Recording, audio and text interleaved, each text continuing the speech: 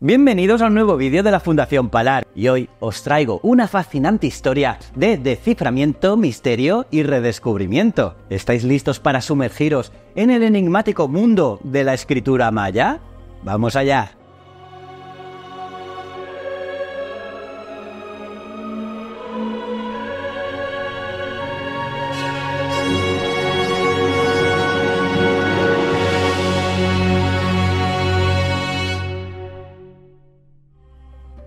Bueno, para apreciar realmente nuestro tema de hoy, debemos retroceder en el tiempo y situarnos en el corazón de Mesoamérica, donde una de las civilizaciones más avanzadas y enigmáticas floreció, la civilización maya. Una civilización de la que tenemos los primeros registros en el 1800 a.C.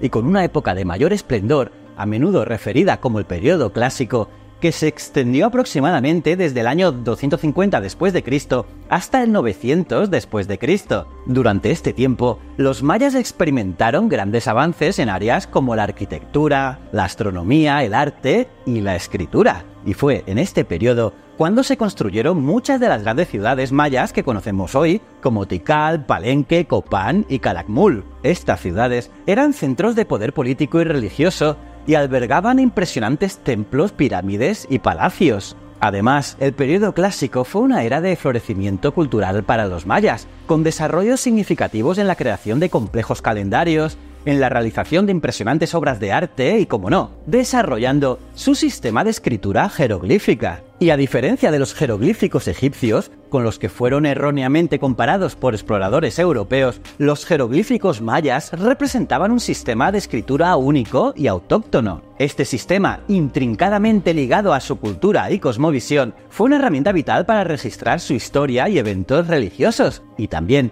para plasmar su ciencia, matemáticas y lo más intrigante, su concepción del tiempo y el espacio. Desde las primeras inscripciones claramente identificadas como mayas datadas en el siglo III a.C. hasta su uso continuado más allá de la llegada de los conquistadores españoles en el siglo XVI, la escritura maya se erigió como un vívido testimonio del esplendor y la intrincada complejidad de esta civilización. Sin embargo, tras la conquista española, el conocimiento de este sistema de escritura comenzó a desvanecerse, llevando consigo secretos de una civilización que había sobrevivido durante milenios. Fue la colisión de dos mundos, donde uno se impuso sobre el otro, borrando de manera casi completa una rica herencia lingüística y cultural. La escritura maya es una verdadera maravilla del intelecto humano. Este sistema logosilábico, que combinaba logogramas con símbolos fonéticos, era una representación gráfica tan compleja como detallada de su lengua hablada. Cada glifo podía contar una historia, representar un objeto, un concepto,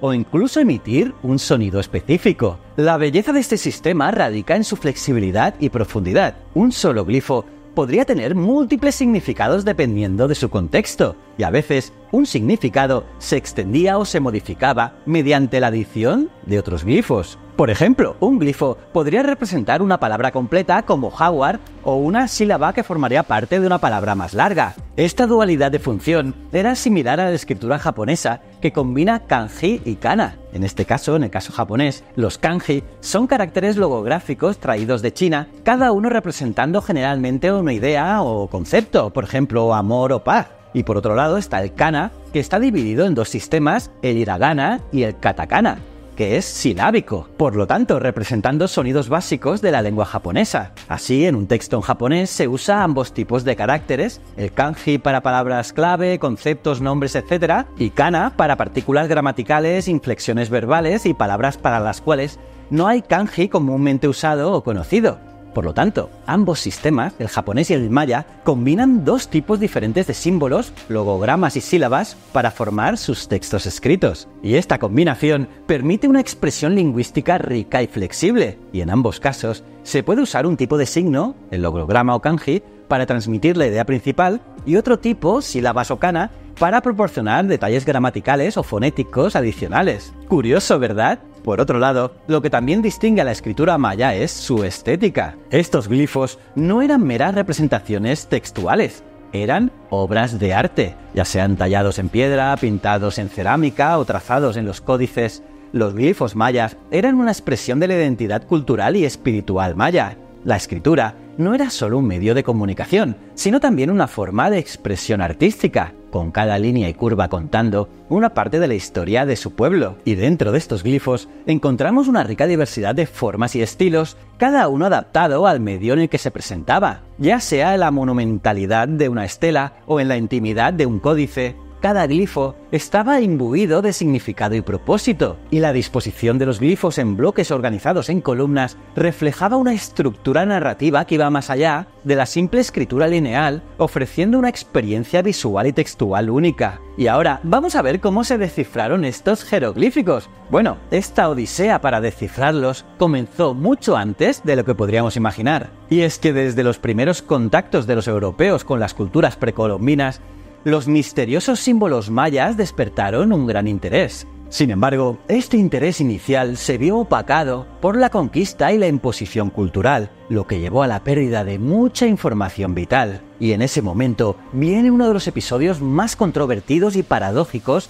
en la historia del desciframiento maya, el papel del padre Diego de Landa. De Landa, nacido en 1524 en Cifuentes, la actual Guadalajara en España, ingresó en la Orden Franciscana y viajó a Yucatán en 1547 para participar en la evangelización y educación de los indígenas, en primer momento defendiendo su trato justo. Sin embargo, preocupado por la persistencia de las prácticas religiosas mayas, Landa estableció en 1562 un tribunal religioso en Maní, México, que se convirtió en una especie de inquisición. En un auto de fe de 1562, Landa ordenó la quema de miles de ídolos, objetos sagrados y códices maya, poniendo en peligro la memoria histórica de esta civilización. Los métodos agresivos de Landa causaron alarma y fueron condenados por el obispo Francisco de Toral. Por ello, Landa fue llamado a España en 1563 para defenderse de las acusaciones y tras un periodo de exilio y reflexión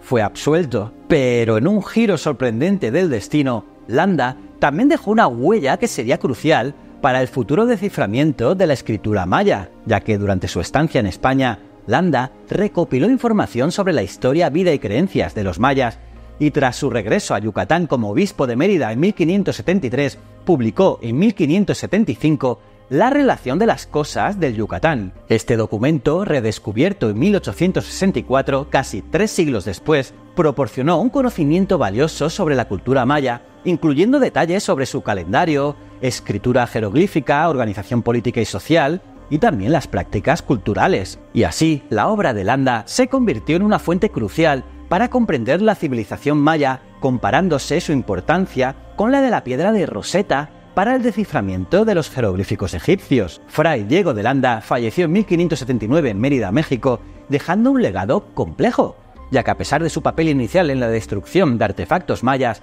su posterior esfuerzo por documentar y preservar la cultura maya ha sido reconocido, y hoy cuenta con una estatua en su honor en Izamal, México. Eso sí, cabe destacar que poco antes de que se redescubriera todo el alfabeto de Landa, ya en el siglo XIX, el interés por los jeroglíficos maya resurgió con fuerza, y fue gracias en parte a los viajes de exploradores como John Lloyd Stephens y Frederick Catherwood, que juntos, estos dos aventureros recorrieron las selvas de Centroamérica, documentando y dibujando las ruinas de una civilización que hasta entonces era prácticamente desconocida para el mundo occidental. Su trabajo, especialmente en lugares como Copán y Palenque, fue crucial para reavivar el interés mundial en la civilización maya. Stephens y Catherwood no solo capturaron la majestuosidad de las ciudades mayas en ruinas, sino que también registraron detalladamente los jeroglíficos que encontraron. Sus libros, ilustrados con precisión, llevaron la escritura maya a salones y bibliotecas en toda Europa y América,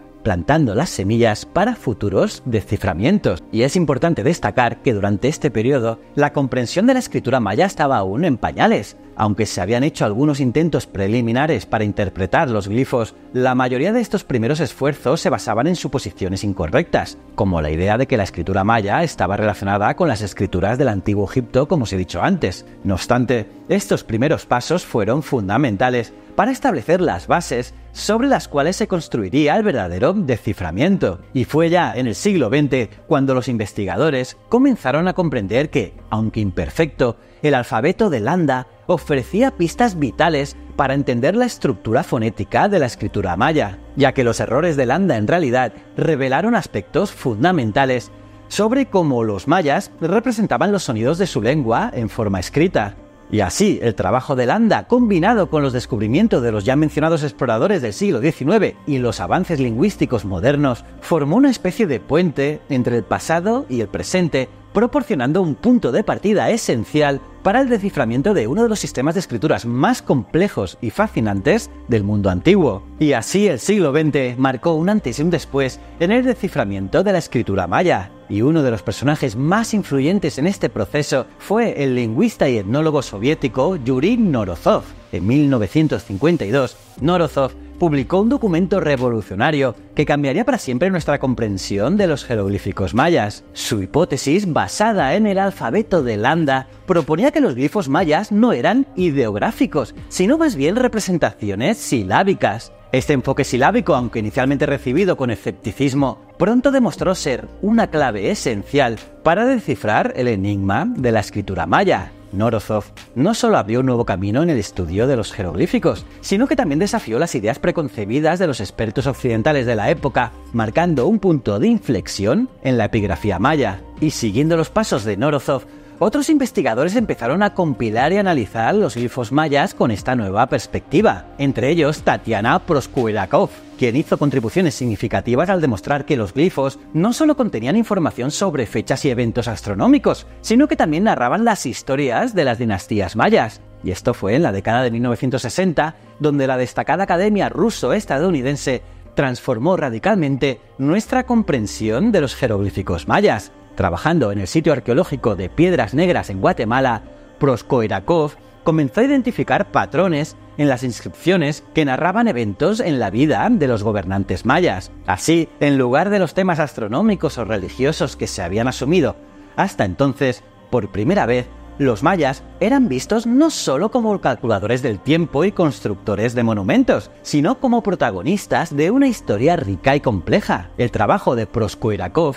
fue un catalizador para un cambio de la epigrafía maya y demostró que los mayas usaban su escritura para documentar su historia de una manera muy humana, similar a como otras civilizaciones registraban sus propias crónicas, y esto abrió nuevas posibilidades para los investigadores, quienes comenzaron a ver los textos mayas no solo como artefactos arqueológicos, sino también como documentos históricos, mostrándonos una sociedad con individuos que tenían sus propias historias, luchas y triunfos. Y gracias a ello, el progreso en el desciframiento de la escritura maya se aceleró notablemente en las décadas de 1960 y 1970 gracias al trabajo colaborativo de arqueólogos, historiadores, antropólogos, expertos en arte, epigrafistas y lingüistas, una colaboración interdisciplinaria que ha sido un factor clave en este desarrollo contemporáneo, un trabajo en equipo para comprender la forma y estructura de los glifos, pero también su significado cultural y contextual. Esta aproximación holística ha enriquecido nuestra comprensión de la civilización maya,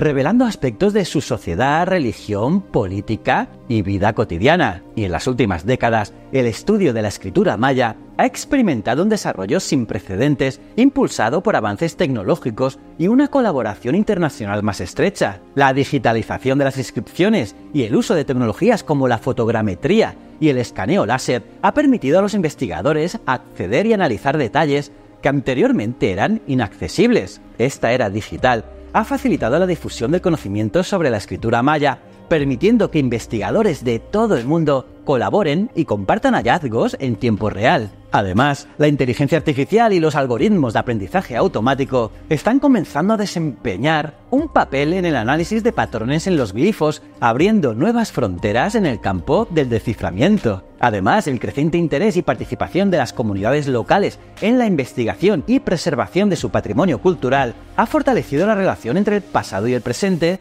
y los descendientes de los mayas están cada vez más involucrados en la interpretación y difusión de sus tradiciones y legado escrito, asegurando que su historia siga viva y sea contada con autenticidad. Y ya mirando hacia adelante, el estudio de la escritura maya sigue siendo un campo vibrante y en evolución, con nuevas tecnologías y perspectivas que continúan desvelando secretos de este enigmático sistema de escritura. Es un recordatorio de que la historia está viva respirando a través de las piedras y los códices y que aún Tenemos mucho por aprender de los antiguos mayas. Y bueno, pues eso es todo por hoy. Espero que hayáis disfrutado de este fascinante viaje tanto como yo. No olvidéis suscribiros para más aventuras arqueológicas y paleontológicas, darle a la campanita para recibir notificaciones, un buen like y seguirnos en las redes sociales de la Fundación Palar. Ah, y echa un vistazo a nuestra web fundacionpalar.com porque allí encontrarás también las últimas noticias de arqueología y paleontología. Te invitamos a que nos acompañes en este apasionante viaje a lo largo de nuestra historia. Muchísimas gracias.